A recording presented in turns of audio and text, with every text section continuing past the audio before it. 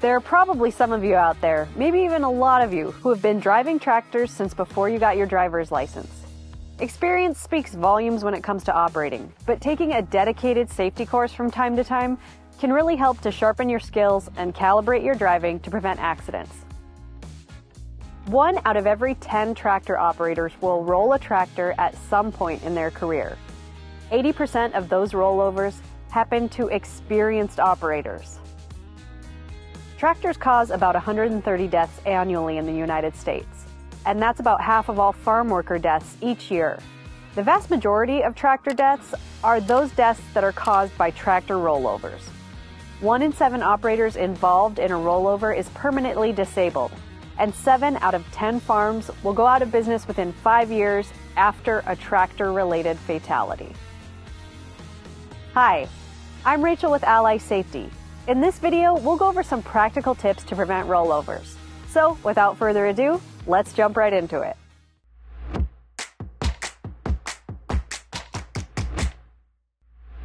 If you like our YouTube videos, make sure to check out our video subscription to access over 150 video courses.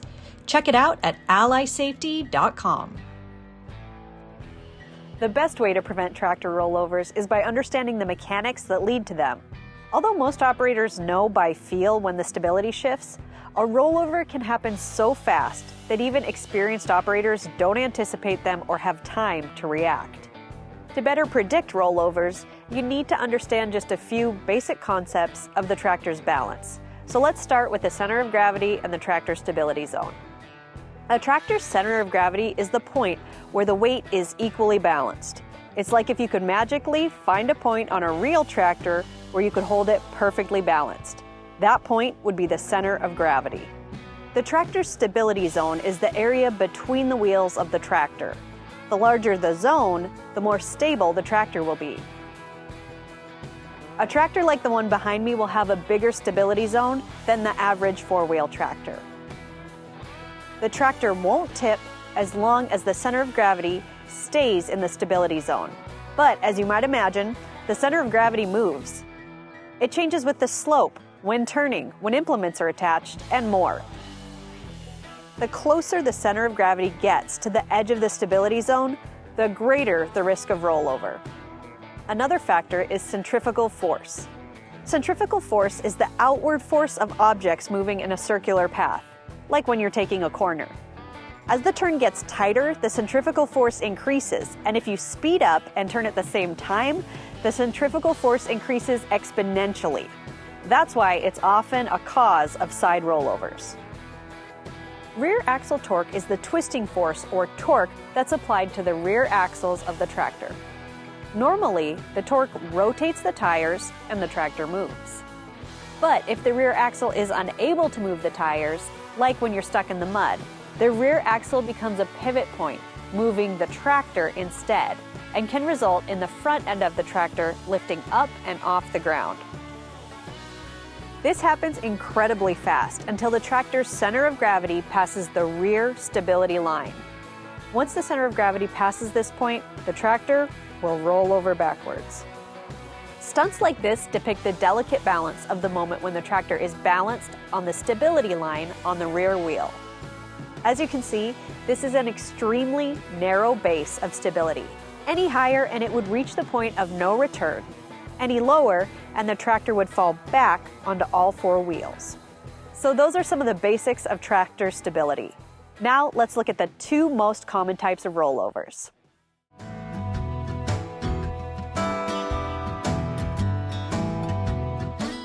Side rollovers are the most common type of rollover and make up about 85% of all tractor rollovers.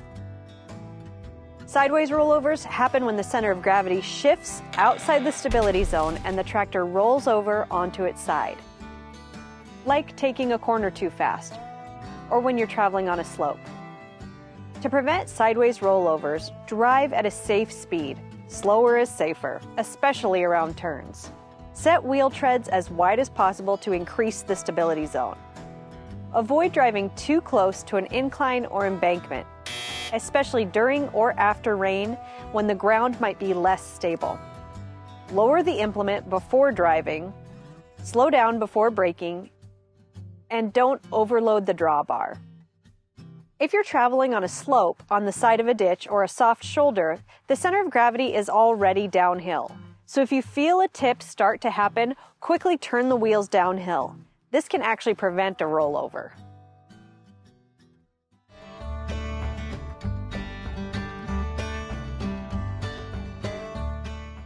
Rear rollovers are less common but are more dangerous because these rollovers happen so fast and because the weight of the tractor is coming back on top of the operator.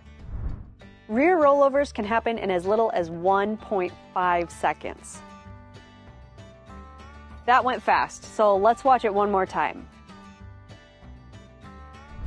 Most operators have no time to react. In fact, half of that 1.5 seconds is spent with the tractor reaching the point of no return.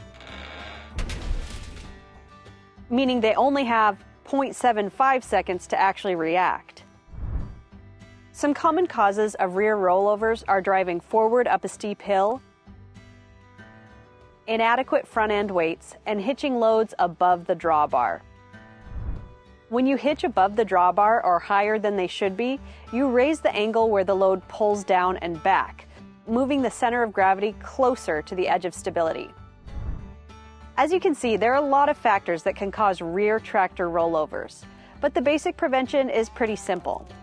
Drive forward down steep slopes and reverse back up steep slopes. Keep implements low. Always hitch loads correctly. Don't hitch loads anywhere other than the drawbar. When you're stuck, try to back up the tractor first, and if that doesn't work, get another tractor to pull it out. Add plenty of front end weight when you have rear mounted implements. Slow down when pulling equipment, and always attach your implements correctly.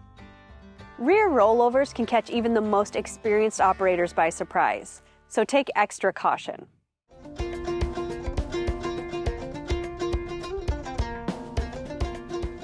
Your best bet to survive a rollover is to drive tractors with rollover protective structures, also known as ROPS. ROPS are simple, protective structures that are designed to protect the operator. They can be open or enclosed and are securely attached to the tractor.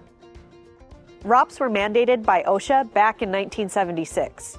Since then, a series of tractor rollover incidents has been investigated in Nebraska.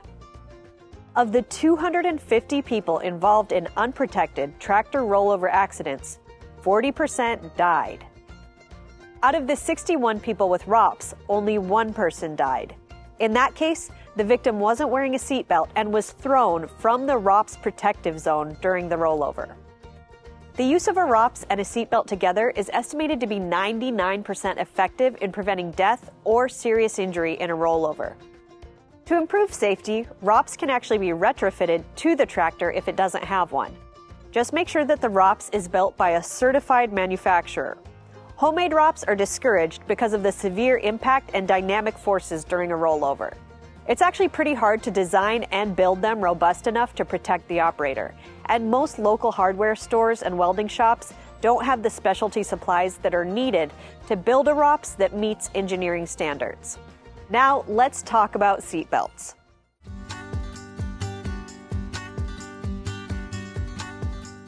If a ROP is installed on a tractor, a seatbelt has to be worn. This is because it keeps the operator safe and secured in the structure if there's a rollover. On the other hand, when you're using a tractor without a ROPS, do not wear a seatbelt.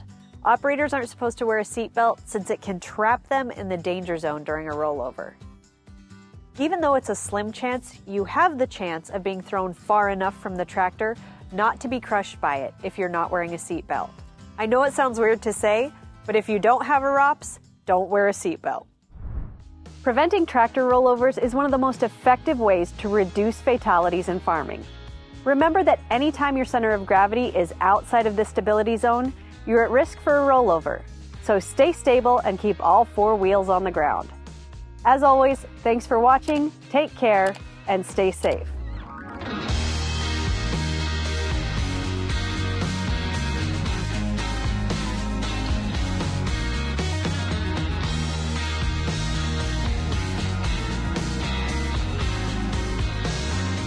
Hi, Rachel from Ally Safety here. If you enjoyed this video, make sure to check out the Ally Safety Toolbox Talk membership at allysafety.com.